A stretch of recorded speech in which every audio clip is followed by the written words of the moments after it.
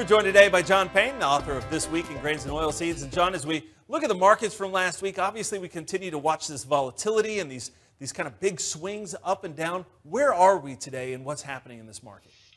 Well, we're kind of where we've been the last couple of weeks. So, you know, we get a lot of huge ranges, especially in the wheat markets, corn to a certain degree, but we've we've actually kind of fallen back into a range here where we'll trade up 20, down 30 or 40, and then really come back by Friday's close into uh, kind of the opening range for the uh, for the markets of the week. So it's very important in everybody's kind of lexicon here as we start entering the growing season.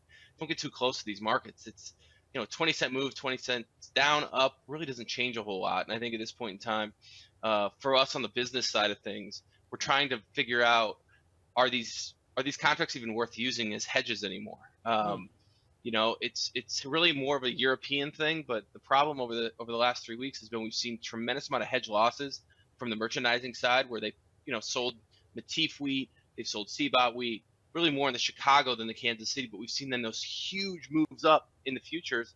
We're not seeing the cash follow, and that's a dangerous spot because those those those those enterprises are losing money on physical hedges, but they're not making any money on the physical cash. So it creates a tremendous amount of downstream pressure for them to exit hedges, not hedge anymore, and then we're we're at a point here where I think that could even open us to more swings uh, down the road. So my big advice to folks would be find a home for the grain. I know there's always been a the saying of the HTA, which is a, a futures contract sale through the elevator, so to speak, and then you price the basis later.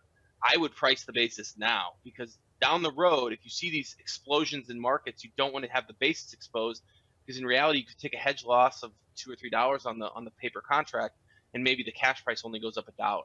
So yeah. be careful here.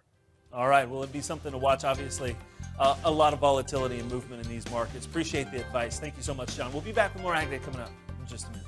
To find John's newsletter, This Week in Grain and Oilseeds, head over to www.thisweekingrain.com.